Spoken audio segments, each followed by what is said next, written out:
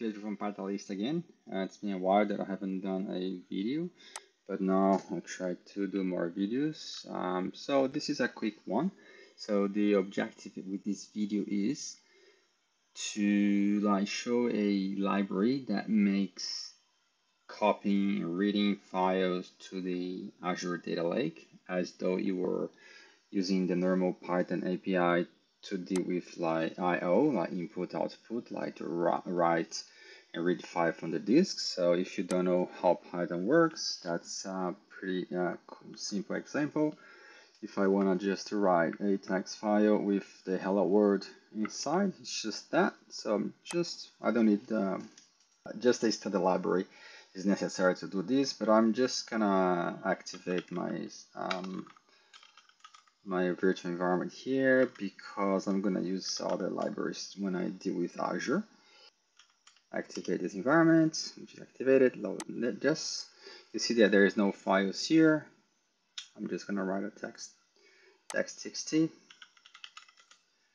Uh, this one is right to IO. You see that the file was created here with hello world. And then if I wanted to read from uh, IO. I did an example different file, but the file is called text um, txt. And if I run that, which is read from IO, you see it doesn't, it works like that. So if you had like, if you use the Python SDK that Azure offers to write and read, which is this library here. Where is my,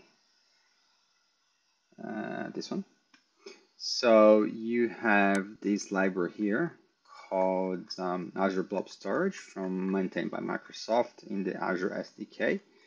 So you have to pip install that Azure Storage Blob and the documentation here is so how can you authenticate your storage account um, I usually, I'm gonna use for this example to create um, not a blob. I'm just gonna get um, a blob service client, which is a client for the whole account. And to authenticate, you need um, storage account URL and your credentials, which in this case here are going to be your um, account key.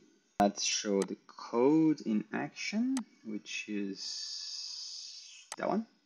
So you have to have, um, I'm just putting environment variables here, like in my config ini file, uh, my um, start account URL and the key.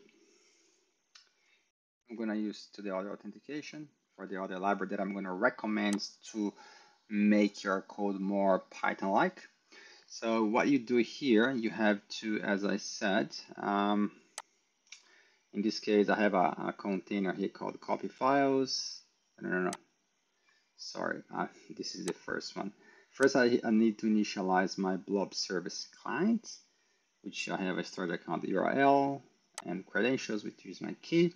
And then after that, with this service, I have a method called get blob client, which I, I have to pass a container and the blob name. So I wanted to save a hello txt, txt file. And then I'm gonna read from here this um, file here. I'm just gonna read binary. I don't think need. I don't think I need binary here. I think I can. Oh, mm, I think they have to open binary because this library accept, uh, accept binary. And I'm just gonna upload the file to the blob.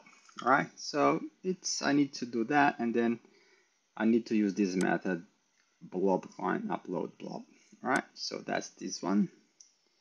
So let's do that. Let's go to my storage account. So I have the container called uh, copy files. So I don't think there is yet. There's nothing there. So if I run this code,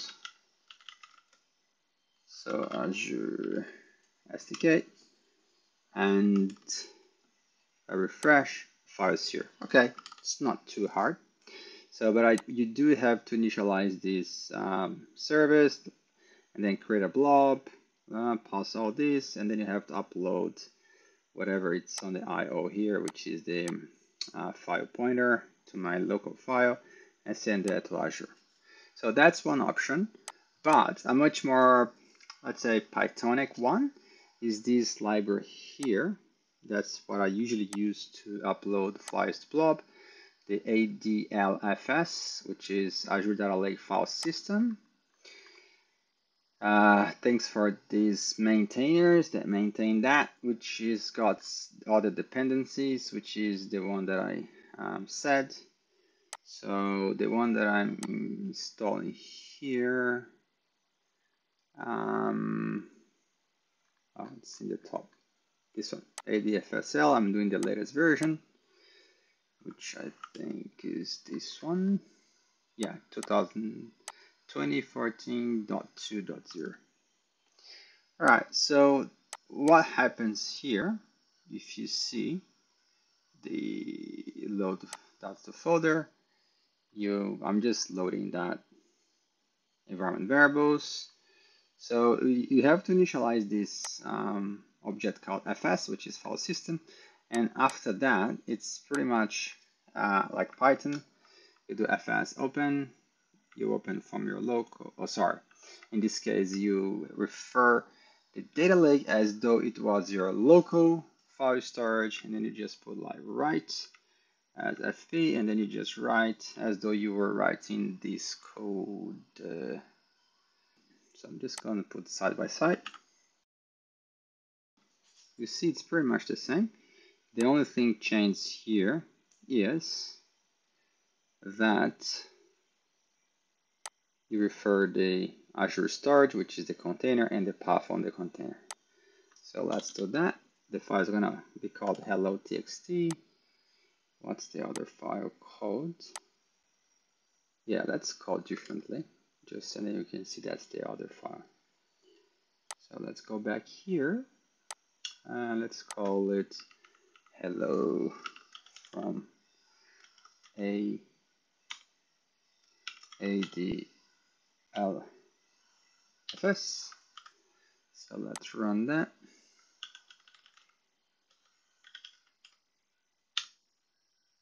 And bang. So run one, this one. If I refresh, the file is here. If I wanted to read, it's pretty simple. I just go with fast open. Yeah, just uh, AI helped me. So I do that, and then it's gonna just comment that out, comment that out, and save, and then oops, didn't save, save. I run that again. There you go. It's reading as though it was your local file system. Pretty simple. You just need to initialize your start account name, storage account key, create a FS object. You just need to do that once. Once you have that object, you establish a connection to your data lake, and then you can read, write, delete, and do all other sort of things, which is pretty handy as opposed to the SDK, which is not too bad, but it's a little bit more. Uh, the API is kind of like its own API. It's not doesn't like Python the way Python uh, deals with the input output in the local file system. Alright guys, thanks for watching. Um, I hope you liked the video. It was a quick one. If you have any questions, put down in the comments below. Uh, thanks for watching. If you haven't subscribed to the channel, please subscribe and click the bell. I like the video. Alright guys, see you next time. Bye bye.